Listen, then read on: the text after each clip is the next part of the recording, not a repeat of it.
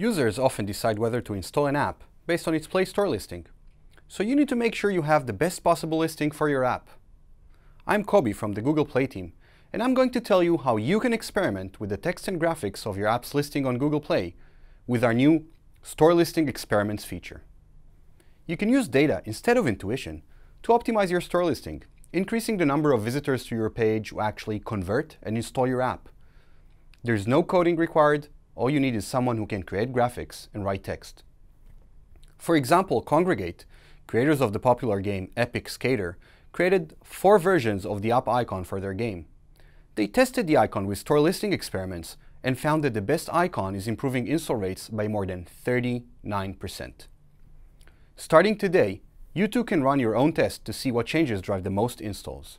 First, log into the Google Play Developer Console. Under Store Listing, go to the new Experiments page. There you can create an experiment with up to three variants of your app's text and graphics. You can decide how many users will see each of these variants. You may want to start your experiments on a small group of users, such as 10%. You can run two types of experiments, global, which will pertain to all users, and localized, which will pertain to users of a specific language. In global experiments, you can only change the graphics, while in localized experiments, you can change the graphics or text for a particular language. Go to the Developer Console to track your experiments.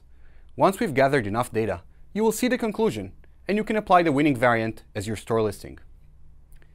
So how do you optimize your store listing?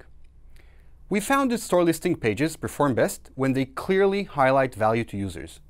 An app description should be clear and to the point, for example, an app description like photo editor producing professional results works better than an awesome app where you have fun with photos.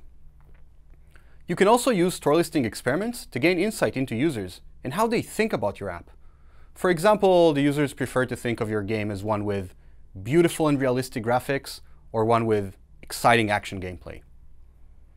As you've seen before, icons matter, so make sure they're of high quality and beautiful Choose the app screenshots carefully and experiments with their order. We found it matters. Be bold, try things. Don't assume your store listing is good enough. But at the same time, remember that not all experiments will increase your app's install rate.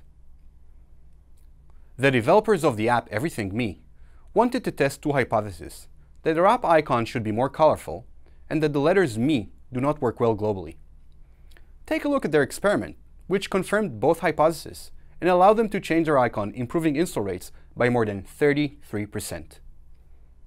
Optimizing your store listing is perhaps the most important thing you can do for your app acquisition because it affects traffic coming from all sources. It amplifies organic user acquisition on Google Play as well as your own marketing efforts. Well, good luck, and we hope you enjoy optimizing your store listing.